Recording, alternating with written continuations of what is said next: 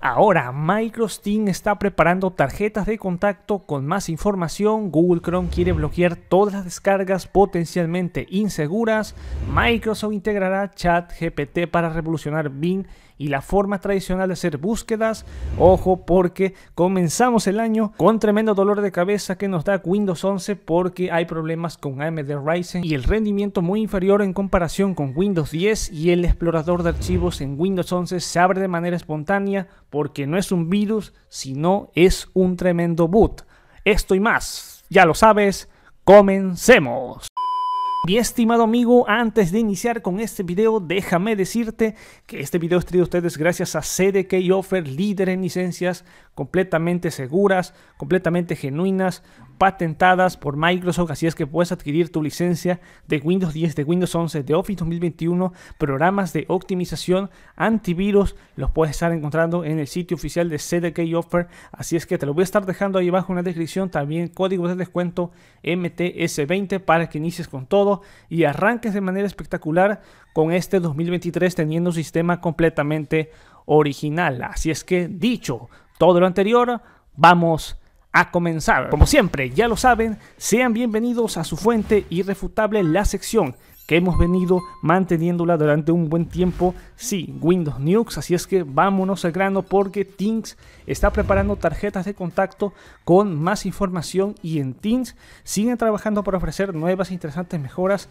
Cada año están reinventando infinidad de funciones y propuestas para sacarle el máximo partido y ya están trabajando desde ya ahora mismo en nuevas funciones en este 2023. Las tarjetas que se anunciaron hace años siguen evolucionando. Microsoft está trabajando en una nueva característica para Teams que permitiría a los usuarios ampliar las tarjetas de perfil de Teams para que puedan obtener una vista más rica del perfil de una persona, como sus datos de contacto, propiedad personalizada y su información de LinkedIn. Esta vista de ampliada de tarjetas de perfil en Teams solo estará disponible para los usuarios de escritorio. Teams es la plataforma de comunicación de Microsoft y también forma parte de la suscripción a Microsoft 365. También está disponible de forma gratuita para usuarios de móvil y también de Windows 11, pero la versión gratuita no es la que la empresa elegirá para comunicarse en la mayoría de los casos. Así es que muy probablemente según la hoja de ruta de Microsoft 365, todos los cambios se vean beneficiados obviamente primero a los usuarios de suscripción. Y por otra parte, Google Chrome quiere bloquear todas las descargas potencialmente inseguras. Bueno, la seguridad es algo que Google se toma muy en serio, así que el, gigante del buscador está trabajando para introducir nuevas características de seguridad de Chrome que se encargarán de manera voluntaria de bloquear las descargas potencialmente inseguras. La corporación de Mountain View está mejorando la opción de usar siempre conexiones seguras que puede ser encontrada en configuración en privacidad y seguridad y está inhabilitada por defecto. Cuando dicha opción se habilita con sus futuras posibilidades, Google Chrome se encargará de bloquear una descarga que por ejemplo se realiza a través del HTTP en un sitio web que en un principio empleaba el protocolo seguro HTTPS. Según la petición de función, el bloqueo se accionará en las siguientes situaciones, que es la página con el enlace de descarga es insegura, la URL final empleada es insegura, cualquier redireccionamiento es inseguro. La característica de usar siempre conexiones seguras ya está disponible en Google Chrome y otros navegadores Chromium, pero Google está trabajando para extender y mejorar sus funcionalidades. Se ha planteado añadir soporte para bloquear todas las descargas que son potencialmente inseguras en el futuro. Y vámonos con lo siguiente porque Microsoft va a integrar ChatGPT para revolucionar Bing y la forma tradicional de hacer búsquedas. Así es que Microsoft podría rentabilizar pronto su inversión de un millón de dólares en un OpenAI, la firma de inteligencia artificial creadora de chatbot ChatGPT. La, es la sensación del momento, si no lo sabes, que da respuestas de textos similares a las humanas en referencia a preguntas. Se ha filtrado que Microsoft está preparando el lanzamiento de una versión de su motor de búsqueda Bing que se basará en la inteligencia artificial detrás de ChatGPT para responder a algunas consultas de búsqueda en lugar de mostrar una lista de enlaces, esto según la filtración de dos personas con conocimiento directo en estos planes. Microsoft espera que la nueva función que podría lanzarse antes de finales de marzo le ayude a superar a Google, su gran rival histórico en cuestión de búsquedas. Así es que ya veremos qué es lo que sucede. Por otra parte, vamos a entrar a terrenos no tan agradables, sí, dolores de cabeza ya iniciando el año con Windows 11. De primera instancia, Windows 11, la versión 22H2 tiene más problemas con AMD Ryzen un rendimiento similar se destaca que al de Windows 10. Tenemos a usuarios de procesadores AMD Ryzen que reportan hace un tiempo ya cuelgues del sistema tras aplicar el parche en referencia al martes de parche de noviembre KB501 9980. Un usuario en Reddit llamado Tonsen48 ha dicho que ese problema se está produciendo en el procesador Ryzen 5 4600GE implementado en PCs Lenovo usados por sus clientes y que no han visto que Windows 11 21H2 está afectado y que en caso de producirse el fallo solo hay que desconectar y reconectar los dispositivos USB para que el sistema se reanude. Otro usuario, Baby Macri, ha reportado a través de la misma red que su Ryzen 5900X en el, si el sistema se congela durante periodos entre 10 a 20 segundos. En este caso parece que el usuario ha conseguido ciertos datos y ficheros con información del error. La actualización la KB501 para Windows 11 22H2 ha corregido una vulnerabilidad tipo Spectre 2 que afecta a los procesadores AMD Ryzen.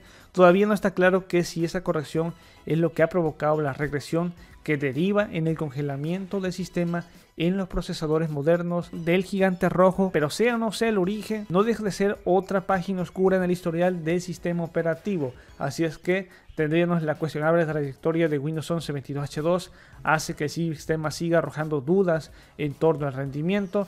Y en PC World han hecho algunas pruebas para comparar el rendimiento de Windows 10 y de Windows 11 con el mismo procesador. Este sería el Intel Raptor Lake S Core i9 19900K. Y si bien el desempeño en niveles generales similar, Windows 10 consigue superar a su sucesor en no pocas ocasiones y eso que supone que Windows 11 está presuntamente mejor preparado para funcionar sobre la arquitectura híbrida que gasta mucho más procesadores Intel de las generaciones Alder Lake y Raptor Lake. De las pruebas realizadas por PC World sobresalen UL Protcon 2.1 Office 365 16.0 en el que Windows 10 22H2 supera Windows 11 en las 5 aplicaciones de la conocida suite ofimática UL Projection 2.1 Photo Edit, que sería en referencia a Photoshop en la más última edición, que repite el escenario de Office, además de los juegos, donde prácticamente vemos que en efecto Windows 10 estaría dominando a Windows 11. Así es que vale la pena señalar que en cuestión de rendimiento, de momento, según las estadísticas y según los últimos problemas y reportes, Windows 11 no sigue por muy buen camino. Y vámonos con la siguiente nota también de malas noticias porque el explorador de archivos en Windows 11 se abre de manera espontánea. No es ninguna clase de virus, es otro bug porque en la última actualización para Windows 11 se implementaron importantes cambios en referencia al explorador de archivos y no vino a eh, como tal dar mejoras, sino más bien a dar problemas.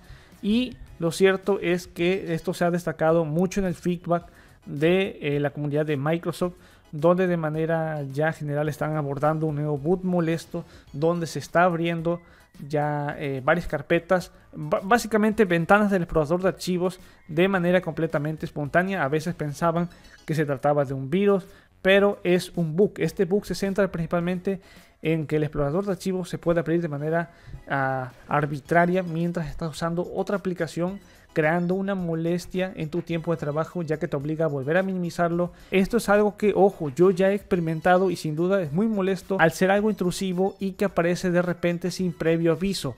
En un primer momento hay que destacar que pensamos que era un virus, no se trata de virus, ya he destacado que se trata de un boot. Y debido a tantos comentarios realizados por este boot, Microsoft ya está al tanto y se destaca que va a lanzar una actualización para solventar este problema y bueno obviamente corregirlo. Igualmente vas a poder desactivar las pestañas en el explorador a través del símbolo sistema introduciendo este código este comando perdón y con ello se estaría solventando el error de momento. Aplicas este comando, obviamente desactivas las pestañas, después de reiniciar ya no deberías tener este bug. Al momento que se lance la correspondiente actualización que soluciona el error, se va a poder revertir esta modificación para tener de nuevo las pestañas activadas y ya no presentar ninguna clase de fallos. Así es que vale la pena señalar que Microsoft ya está al tanto. Windows 11, sí, una tremenda chorrada, inicia el año con problemas y problemas y tremendos boots. que nos dan dolor de cabeza. Así es que nada, yo hasta aquí me despido. Nos veremos hasta la próxima. Ya sabes. Bye.